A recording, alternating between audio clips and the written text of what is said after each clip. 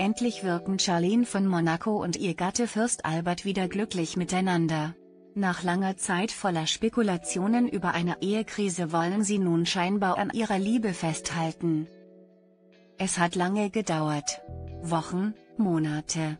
Doch nun endlich wurde Fürstin Charlene klar, was sie wirklich will, einen Neuanfang. Gemeinsam mit Fürst Albert will sie ihre Ehe retten. Zum ersten Mal seit einer Ewigkeit wirkt das Paar nun wieder glücklich miteinander. Das war zu lange nicht der Fall. Fürstin Charlene und Fürst Albert kämpfen sich als Paar zurück.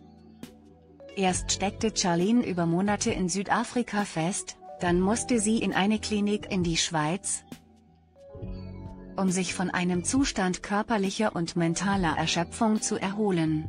So nannte es ihr Ehemann Fürst Albert.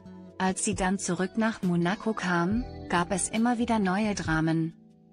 Viele davon um ihre Nebenbuhlerin Nicole Kost, Alberts ehemalige Geliebte. Charlene zog sie sich immer mehr zurück, absolvierte nur noch wenige Termine. Doch nun hat sich schließlich alles wieder zum Guten gewandt. Es scheint eine große Aussprache zwischen dem Paar gegeben zu haben. Wie es heißt, haben sie einen Weg gefunden, wie beide Partner mit dieser Ehe glücklich sein können. Charlene will künftig ihre Aufgaben als Fürstin voll erfüllen und mehr Termine wahrnehmen. Ebenso will sie endgültig ihr schlechtes Französisch verbessern.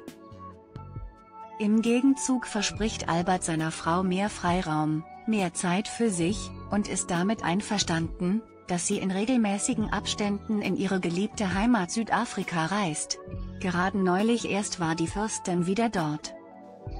Und weil sie nicht nur das Fürsten, sondern auch ein Liebespaar sind, werden Charlene und Albert sich künftig immer mal wieder kleine Auszeiten zu zweit nehmen.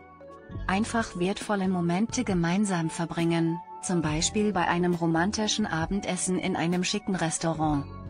Vor Jahren schon haben sie das Norbo-Restaurant in Monte Carlo für sich entdeckt. Feinste Küche, wunderschöne Aussicht, hier kann das Paar sicher all die Dramen hinter sich lassen und einfach den Moment genießen.